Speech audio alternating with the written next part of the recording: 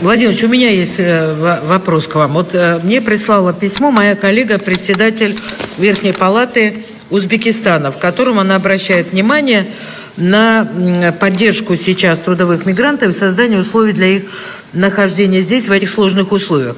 Вот если патент закончился, насколько я знаю, на 90 дней э, продлевается его действие, можно не переоформлять. Это так или нет? Правильно я понимаю? Да, Валентина, патент выдается на сроком от 1 до 12 месяцев в конкретный субъект, на конкретный вид работы.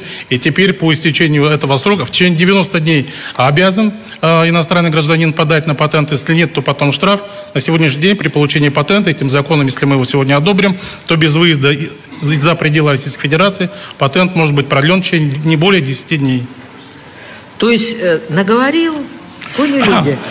Так, э, еще раз, для тех, кто не понял, повторите. Значит, э, если срок патента закончился, 90 дней разрешается трудовому мигранту находиться без переоформленного патента. Правильно я поняла или нет? Да, правильно. Хорошо. Документ по в течение 30 дней, да, в течение 90 Прошу дней. Константин Оща подготовить ответ нашим коллегам. Мы, Мы отреагировали.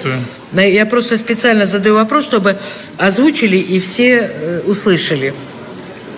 Так, э, еще есть вопросы?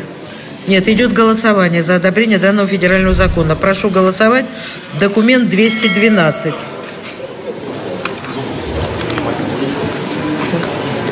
Спасибо. Решение.